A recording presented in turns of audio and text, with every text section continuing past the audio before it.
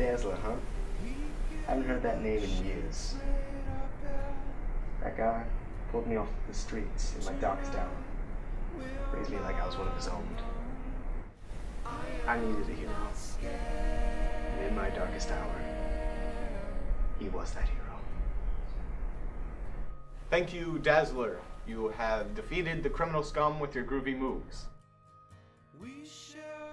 James McDazzle III. What a man.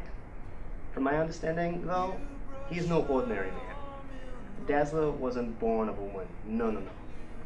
He was actually birthed out of a tree stump. It's really weird, like, kind of like the Lorax, but less hair and uh, more dazzle. He also was born as a small, middle-aged man-child, which is also pretty weird. Majestic, but weird. Yeah, it's true. He was born out of a tree stump. Really weird. I found him out there, all alone, and I decided to take him in as one of my own. As the years passed, he continually expressed his inner wish to dance the night away, which was super fruity. Of course, I wanted him to become a doctor, but no! He had to follow his dreams of becoming a goddamn dancing superhero for a living, which I might add brings zero income.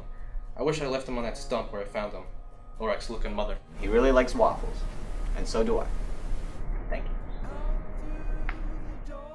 Oh, me and the Dazzler go way back. We went to band camp together in high school. Him and I were actually dance partners for a while. We had an unbeatable flamenco number. That is until he abandoned me for that tramp Natasha. God, that was the single worst day of my life. From that point forward, I vowed that I would be totally evil all the time. And naturally, he vowed that he would use his groovy moves for good all the time. He easily became my nemesis. I like jazz, he liked disco. It just wasn't going to work. Oh my god. The Jazzler was the worst flamenco dancer this side of the planet. My god. Dazzy left me for good reason. He was horrible.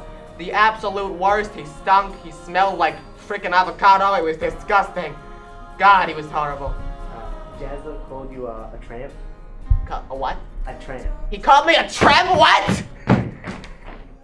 Oh, Dazzler wasn't just born with the ability to dance like he can today. He had to train. The sensei, none other than the Disco King, Dwayne The Rock Johnson.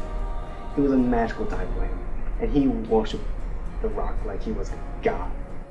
One day, during a training accident, Dwayne pulled a hammy, was never able to dance again.